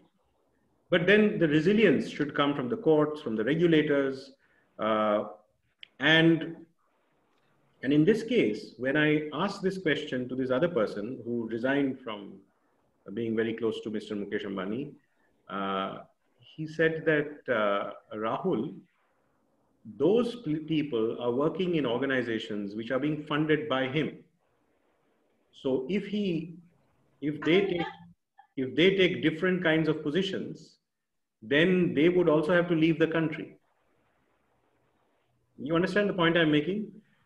We really, uh, you know, we really need to have one of the things I was proud of, however imperfectly, is that in China, you can't win a case against the state. In India, you could routinely do that. I mean, people can say that the Comptroller and Auditor General of India brought down the Manmohan Singh government. You can say that the 2G scam created a lot of embarrassment for the Manmohan Singh government, right? You can say that media people like Dr. Arun Shourie have uh, made uh, something out of the Bofors scandal, right? So there are these independent uh, sort of uh, places from where uh, people who have a different view can defend themselves. And I don't think any kind of reforms, second generation or first generation or fifth generation, you can go to the fifth generation of uh, GSM. But if you don't have reforms, it will really look like Mr. Mukesh Ambani is the only person who can provide that service. And that what he is doing is something that nobody else in the world has done. And consumers will not even come to know what they are losing. So I completely agree with you that, uh, but in, but do you have a specific question about certain reforms where I can see whether I can reflect or not? If you have a specific question, you can ask that also. Um, no, sir. I uh, right now I just wanted to uh, know about the state capacity vis-a-vis the present times. Yeah, yeah. Rahul, wait a second, Rahul. Uh, you know, here also, Rahul. Rahul, there is a question here coming up. You know, students are writing. So, you know, what they are saying that do you see economic reforms uh, largely, you know, inclusive or exclusionary? You know, because looking at uh, you know, the ideas that we discuss often in comparative political economy, economic reforms are pro-rich, you know, pro-elite. On the other hand, you know, look at Dalits and Adivasi, the huge literature. Yeah, yes. They suggest, they suggest that, yeah. Nihar so like, you know. Yeah, yeah, the Gaikwad and Pavitra, you know, through quasi-experiment approach, you know, I'm not commenting on the methodology, sense that we get from a large literature, you know, theoretically, you know, it has started from Ashu, you know, Ashutosh Varshney, mass politics versus elite politics. And Right. even, you know, uh, uh, Rahul, going back to Aristotle, you know, when Aristotle famously said that democracy is an uneasy balance between rich and the poor, the multitude. And when you look at economic reforms, I'm quoting you, you know, it's, it's a pro-elite and pro-business reforms, you know. Do you think that it is becoming more i- inclusionary or exclusionary? And the second, coming back to your primacy of idea, ideas issue, do you think that ideas could be exclusionary too? I mean, like, yeah, I'm, I'm saying Yeah, I- it's- I completely agree that ideas could be completely ex- exclusionary. I mean, Thank you can very much. Ideas, you can have uh, very pro-rich ideas, and that is why I'm also saying that there can be a drift. But regarding the inclusionary character of India's economic reforms, I would have this to say that that if you really look at poverty in India, then poverty in India from about 1947 till about 19 early 1970s forget about the number of people below the poverty line even the proportion of indians below the poverty line did not decline so we must concede that the socialist phase had huge problems then you cannot just blame, blame the socialist phase because I think the attack on poverty that Mrs. Gandhi started during the socialist phase, I think did slowly begin to make an impact. And then from the 1980s, when economic growth takes off, the rate of poverty alleviation also takes off. Uh, from the 1990s, also, the, the, slowly from the 80s, the percentage of the population below the poverty line begins to decline. Now, I certainly think that economic reforms are necessary, but they are not sufficient. And that is why I mentioned in my presentation that economic reforms should be defined more broadly, and we are doing work on NREGS and other aspects. Uh, but because we wanted to make this a conventional economic reforms lecture with a certain focus, I did not uh, digress in that direction. But statistics tells us that India's growth is reasonably inegalitarian. Growth is important. I am not taking away from that argument. But typically, it is inegalitarian, which means that for every percentage point rise in economic growth or in GDP, the impact that it has on the percentage of the population below the poverty line is, let's say, less than what it would be in Eastern Europe or what it would be in Europe or what it would be in Southeast Asia. Perhaps it is a little bit higher than sub-Saharan Africa. So economic growth does not produce the bang for the buck in India that it produces in many other parts of the world. However, that does not mean that economic growth is not important.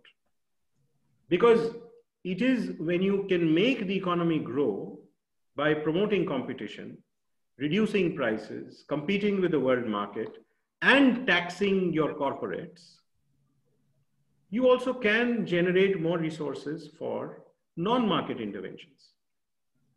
So for example, in 2009 at 40,000 crores, India's NREGS budget was probably not more than one percentage point of GDP. Why? Yeah, true, true. Because India's economy has grown. So with peanuts, you can launch a program that Mrs. Gandhi could not even have thought of. So the problem is that some economists make you believe that economic growth is going to do everything for you. And other economists and social activists make you believe that you can do without economic growth. I mean, this could be portrayed as the Bhagwati uh, and Sen debate. Of course, Professor Sen will never say that economic growth is not required, but he works more on the redistributive aspect, which is very, very important. Professor Bhagwati is a much greater believer in the trickle down effect. But there is trickle down. It's not that there is no trickle down. But it is also true that that trickle down is abominably insignificant. So you keep growing and growing and growing. Your inequalities keep growing and growing and growing. Your aspirations keep going, growing and growing and growing. So you have to, for human well-being, address through non-market interventions. And however, economic growth itself, so whether you're talking about tribal rights or whether you're talking about uh, right to work or right to education, but you know, finance ministers in states understand this. You know, uh, Dr. Surjya Kanta Mishra, who is the leader of the CPM in the left, and if his ideas were more important, uh, the left would not have lost power. He says that yes, he says that yes, we know that if we can't raise taxes, you know, our healthcare system will decline. So if you're in a state like Andhra Pradesh, where you have uh, Telangana, where you have one Hyderabad, you can do many things. So KCR is happy, and uh, you know the Andhra Pradesh is having more struggle. So the point I'm trying to make is that the story of the relationship between growth and human development is a, is a, is a, is a rather complicated one and unfortunately, this is portrayed as being an ideological debate. That let us just do growth or let us just do human development. But there is no human development without growth. There is no taxation without growth. I mean, have you ever seen somebody like Mao come in India and redistribute everybody's wealth? No. But yes, when you have the money, Mr. Rajshekhar Reddy, Dr. Rajshekhar Reddy understands that it can be a winning proposition. So if there is a follow-up question on that, I will certainly take I think that. there's one question. Shashwat. Uh, Saswat uh, needs yes, a little sir. introduction here, uh, uh, uh, Rahul. Saswat No, is no. working with Tariq. No, this is not the same Shashwat. This is first year. Acha, acha. First year, you know, because there is another Saswat at Vanderbilt, you know, who was working with Tariq Thachil. Uh, he's, I a, see. he's a young, yeah, yeah, he's a bright young scholar on migration, you know, trained by Tariq. Please welcome Saswat. Um, yes, sir. Hi, sir. Um, uh, I wanted to uh, ask about uh, when the first economic, first generation economic reforms happened. Uh, it was in the absence of the third tier of state that was created uh, later, 1992-93, uh, when the 76, 73rd Amendment came into being. Mhm. So, do you see a role for the third tier of governments or the third tier of state in the next generation of economic reforms, if you want to bring them in? Third tier. By the third tier, you mean the Panchayati Raj institutions? Yes, ULBs and the Panchayati Raj institutions. Yeah. Yeah, yeah, yeah. Uh, now, you see, uh, I, I certainly believe, I mean, uh, there is this huge debate about uh, what happens to local governments and are they a den of caste uh, and elite or uh, can they actually produce participatory democracy? And my view is that it depends.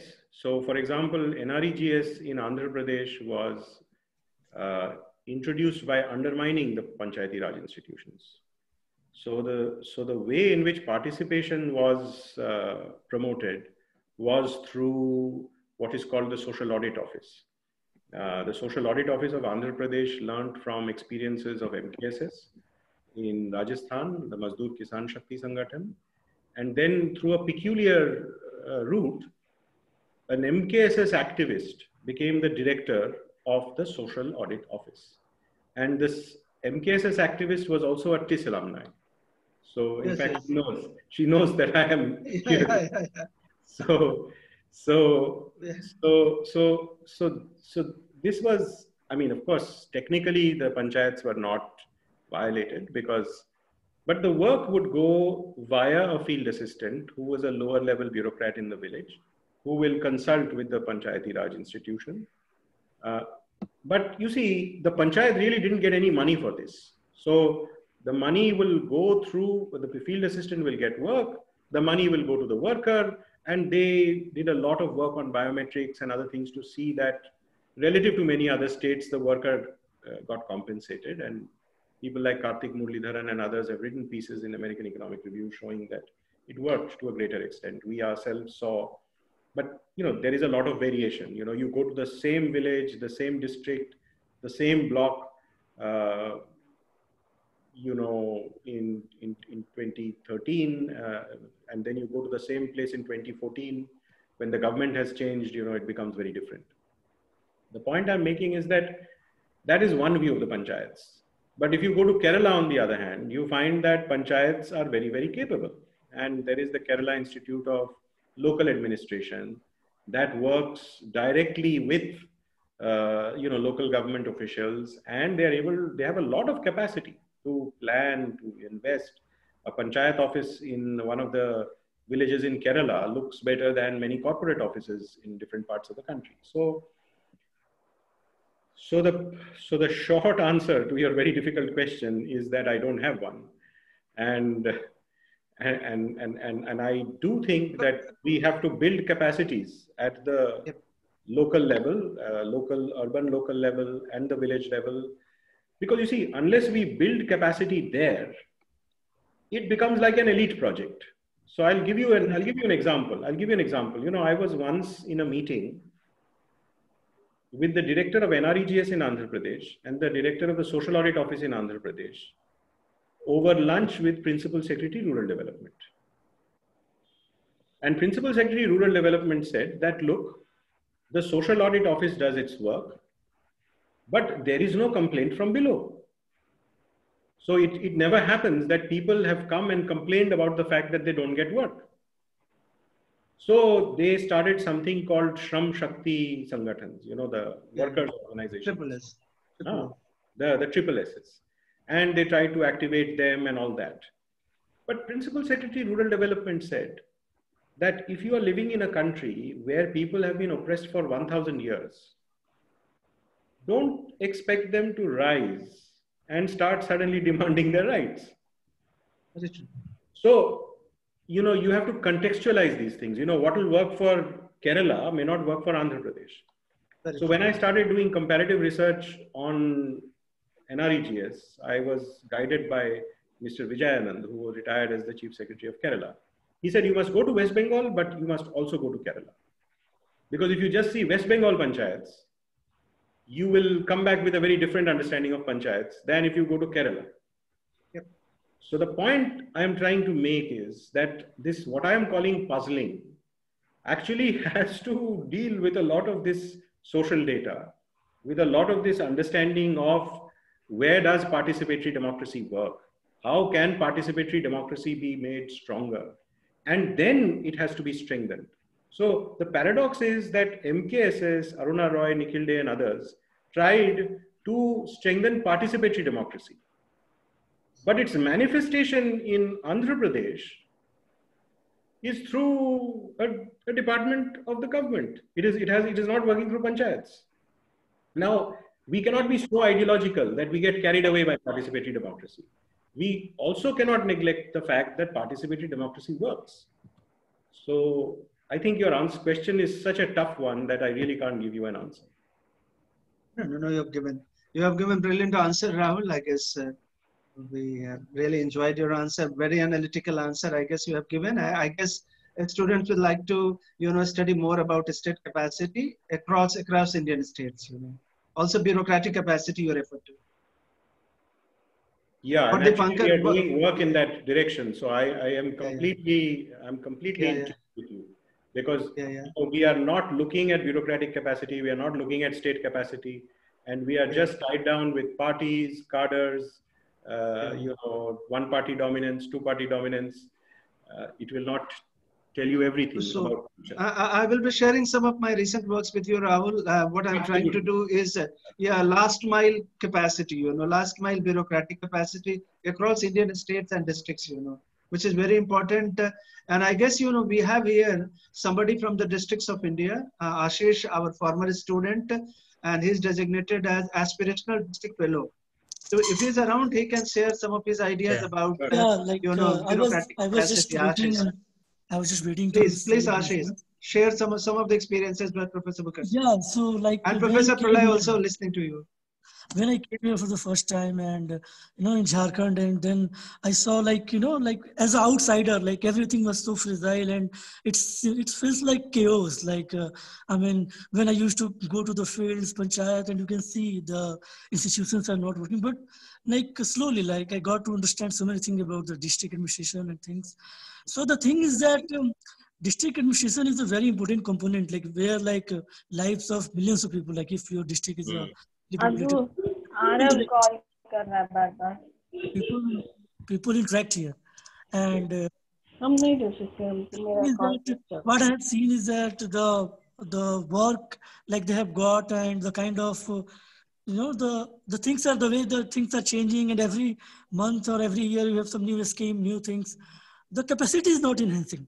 Like uh, you will see uh, a panchayat sevak in a gram panchayat, and then he has to do all the works, and then he's of course like uh, Mr. Devesh Kapur sir, you know, he has written this Yeah, piece yeah. that they're overburdened. Yeah, yeah. Of course, they're overburdened, but similarly, they are still living like 10 years back. Like still the things, the procedures, and these all are still, and they lack so many things. Like even like suppose I will give you just short example. Like uh, in a in a scheme, we have some funding and we want to plan that where to build a road.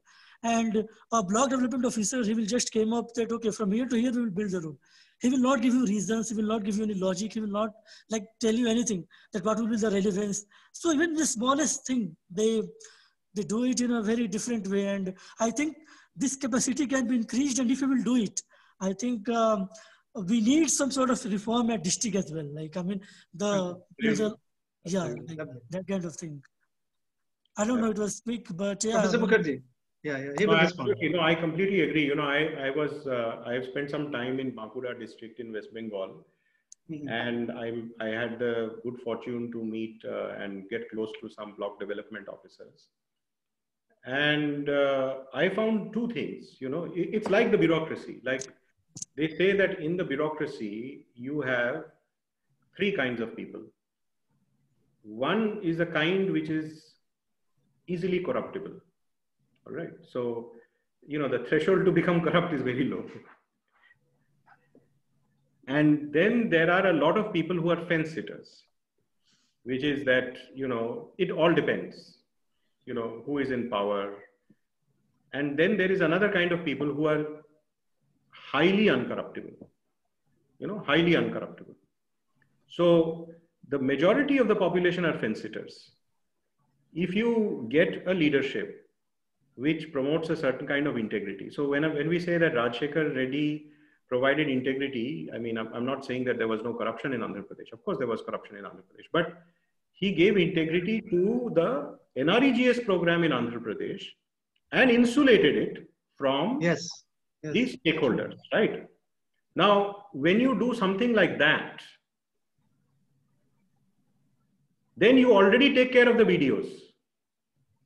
You see, if if you have if the BDO comes to know that that there is a program officer or somebody i mean i'll give you the example of a uh, of a field assistant who won a national level award. This guy uh, wanted to report corruption uh, and he was uh, put inside a room and threatened. And because he had a mobile phone he could call up the dm the dm told him that you just stay there pretend as if you will do their bidding and then I will save you. So he stayed uh, arrested in that place as if everything is fine. And then the DM acted and these goons were. Now the thing is that suppose, suppose people don't have that kind of confidence that at a higher level they will get that kind of support. Even if they have that kind of passion, they will not be able to implement it. So I certainly this is the reason why I talked about the Kerala Institute of Labor Administration. This is the reason because the Kerala Institute of Labor Administration doesn't invite Rahul Mukherji. It invites very practical people who work there with panchayati, uh, uh, panchayat heads and tells them, you know, should they invest in fishing? Should they invest in something else or in some plantation? So I completely agree that that uh, building that capacity is important. But I do think that that capacity building requires a lot of political will, which I call powering. And that political will actually has to back certain ideas. So if I, if, if the BDO uh, wants to do a lot of good things, he or she will be more emboldened to do those things. If the BDO doesn't, uh, uh, if, the, if the BDO wants to have a good life, and he knows that the chief minister is very results oriented. So for example, under Mamta Banerjee, NREGS is very successful in, uh, in West Bengal. Why? Because all the BDOs are scared. And you know, she is calling up all the district magistrates. She remembers. Now, you hear about Mamta Banerjee, but Mamta Banerjee is much more connected with the last person in Sundarbans than was Jyoti yes. Yes. So she keeps winning elections. I am not trying to undermine the importance of your question. The question is very, very important, and they are over overburdened, they have lack of resources. But that is precisely the reason why you need political will right from the top. This is what Manav Roy, Manavendranath Roy tells me that the kind of support that K. Raju had in Andhra Pradesh, I did not have in West Bengal. Once, you know, I was presenting uh, a lecture at the Nehru Memorial Museum and Library, and Mr. K. Raju was in the audience, and so was Mr. Santosh Mathew. Mr. Raju was the Principal Secretary of Rural Development in Andhra Pradesh, and uh, Dr. Santosh Mathew was the Principal Secretary of Rural Development in Bihar. And after my lecture, Dr. Santosh Mathew said, Rahul, he was that time Joint Secretary uh, in um, Rural Development. He said, Will you come and meet me in my office? I said, Yes. He says, After your lecture, I have understood why Raju could succeed and I could not. Why?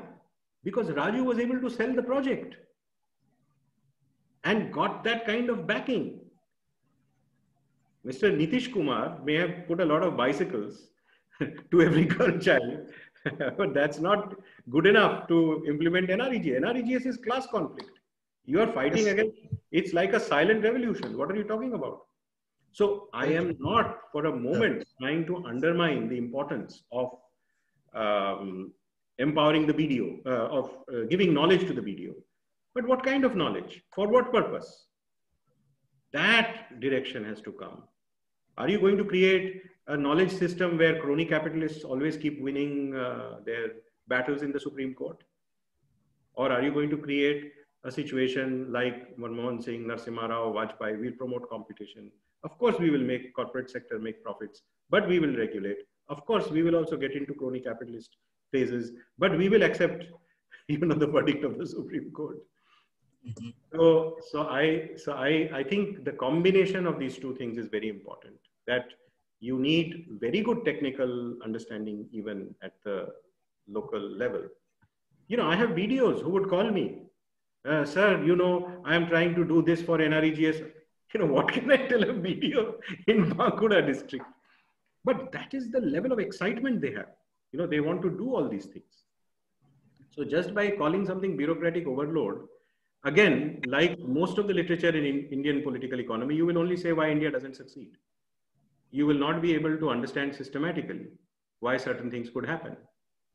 I mean, why does Naveen Patnaik get a lot of tribal welfare done in, uh, in, in Odisha?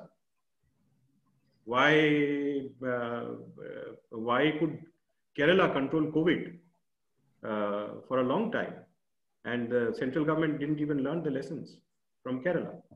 For these questions, you have to think in terms of policy science, in terms of, you know, how are, uh, you know, technical people trying to solve political problems. Okay, I guess it's time to wrap up. so thank you, Professor Mukherji, for making time from your busy schedule and also in such weird COVID time. It was, I must, it was a real pleasure listening to you and interacting with you. And on the behalf of School of Development Studies, very, very thank you. Uh, also, I would like to thank Professor Ashwini Kumar for organizing this wonderful session, Professor Pralay Kanungo, uh, Srishti for uh, organizing this thing beautifully, and the students of first year and second year of the School of Development Studies. Thank you so much. It was really encouraging to see such big numbers for this talk. So yeah, I think it's time to wrap up. And Professor Mukherji, uh, I would write write to you sometime because I'm also working Absolutely. on state Absolutely. capacity and conducting elections, very... kind of oh, very different. Oh, yeah, yeah. So I'll write to you sometime. In, in fact, in fact, yeah, yeah, yeah. In fact, I would encourage all of the students. So uh, hmm. uh, yeah, please do write to Professor Mukherji. Sure. Professor Kanungo is also at Heidelberg. Uh, but make sure that don't flood their, you know, inbox. Uh, you know, I'm sure that as a head of the department, he has, you know, secretarial staff who would be assisting him in answering all of you. Look forward to you, uh, you having again you, uh, both of you, and Professor Pralay. You know, you are expected to, you know, interact with us sometime whenever you're free. We will work on that. my pleasure. Yeah. Thank you very much, you. Uh, Ashwini, Professor Ashwini Kumar, and soon would be Dr. Shorodip Banerjee and uh, Sethi. Uh, I am always surprised that even now there are 63 people uh, who yeah, are yeah. on board. Yeah, around. So I, it's amazing. Know, it's know, amazing. I, I, am certainly not a rock star, but I know that I can be very uh, and that you have persisted with me for such a long time uh, gives me uh, tells me a lot about the patience that you have for such a conversation. No, no, no, no, no. Thank you, Thank very, you very much.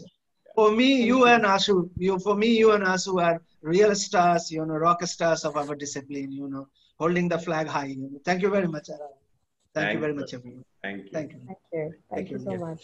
Thank you, Sharaji. Thank, Thank you, sir.